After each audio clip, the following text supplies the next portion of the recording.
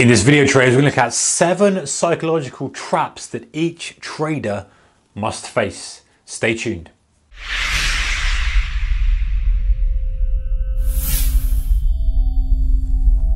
Hey traders, a very warm welcome to you. Okay, so psychological traps that we are all going to face at some point. If you haven't yet already, you will do, but you probably have, you just don't know what they are. So let's have a look at them. I've got seven for you. Let's start with the first one. The first one is exposure bias. What is exposure bias? Exposure bias is you form an opinion without checking the facts. So you're bombarded with all this information about a specific market, specific stock, blah, blah, blah, whatever it is. So you're forming an opinion without checking things for yourself. You might have a massive amount of bullish exposure to a specific market. When reality, you need to check the facts for yourself. You're exposed too much to one side of the coin. And actually talking about coin, that could be pretty relevant to cryptos when a lot of people were very, very bullish on cryptos, disregarding the kind of price and saying, okay, well, let's put these two decisions separate is this cryptocurrency going to be worthwhile long term versus the valuation of it now? Two distinct arguments. You're often they were getting blended together, and people were getting confirmation, oh sorry, exposure bias after that. They weren't checking the facts, they weren't looking for themselves through their own lenses. All right, number two, confirmation bias. That's when you make a decision first and you rationalize it after. So you're basically looking at something, you make the decision, and then you look for things to kind of back up that decision, to rationalize your decision, as opposed to looking at it, rationalizing, coming up with a neutral decision based on what you see. Confirmation bias is that snap decision and then finding things that back up and support the decision you've made the wrong way round. All right, trend chasing as human beings, we tend to extrapolate things too much into the future. Now, something I talk about a lot is extrapolating things in charts and what have you, but often people will say, hey, this thing's moved $10 in the last month. It's going to move at least another $10 next month. That's a danger. That's why many people chase and many traders chase stuff because they just believe this thing's going to go on forever. Sure, the old adage of your trend is your friend until the bend at the end is true and trends do last for a long, long time. However, you do have to be careful you're not overextending things and not looking at things through some clarity. So be careful not about trend chasing.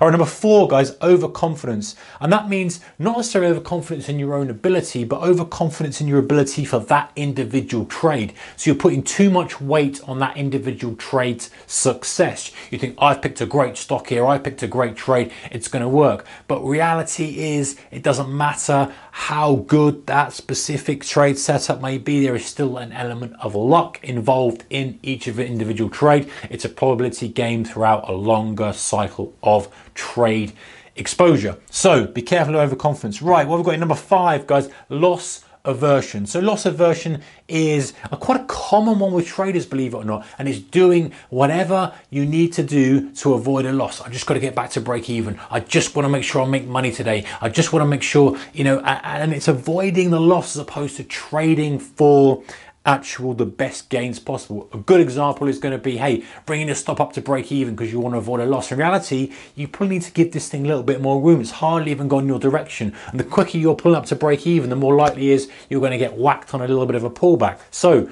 you need to think in terms of doing the right thing for the trade and not just focused on the loss because all you're doing is you're imprinting your trade entry or your account balance metrics on the market. The market doesn't care. The market's got its own agenda to, to conform to. Right. Number six, guys, paradox of choice.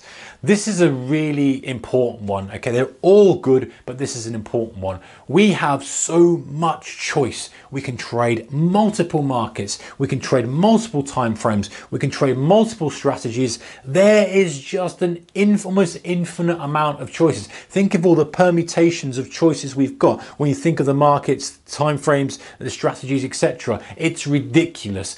And people think that's a good thing. It's not. Paradox of choice, too much choice, market styles is a bad thing. As traders, we must narrow ourselves down. We must become specialists, whether that is a specialist in a setup, whether that is a specialist in a specific market. Narrow your focus down. At least start off by just getting rid of stuff you know you're not going to touch.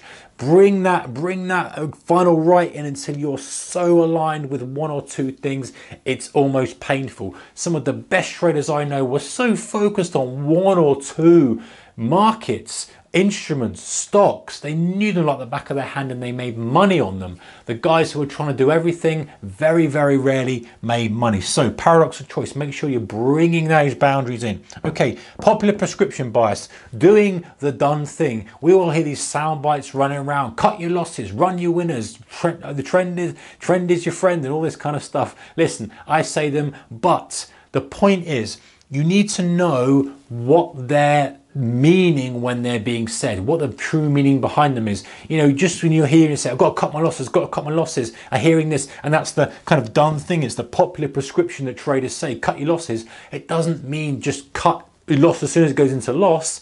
It means, hey, don't let a loss get too far away from you. Make sure the loss doesn't damage you too much. You are going to have to sit through drawdown. You are going to have to sit through trades that go against you. Definitely run your winners doesn't mean hold things forever. It means run it for as long as you think you can for that market condition. Doesn't mean expect 500 pips from a daily range when a thing normally moves 50. You know, you've got to kind of put things into perspective. And yeah, these sound bites go around all the time. We talk about them in trading and even that the top traders say them, but they say them for a reason. And we've got to be careful we don't just go, oh yeah, it's a popular thing to say, let's implement it into our training without really working out what the truly true meaning behind it is. Okay guys, so there's seven psychological traps that each trader must face. I'm sure if you've been trading for a while, you've definitely faced 50% or more of those. If you haven't, you will do. So keep an eye out for those because they can be damaging to your account. But the good news is, is that if you're aware of them, you can second guess yourself and say, hey, you know what, actually, I think I might have a bit of confirmation bias on this one. I think I'm a little bit too overconfident on this trade. I recognize that. I'll step back and take the appropriate action. Whatever you do, guys, keep the risk managed. Good luck in your trading. Give me a thumbs up if you like this kind of stuff. Much appreciated. Thank you for support. See you in the next one. Take care. Bye bye.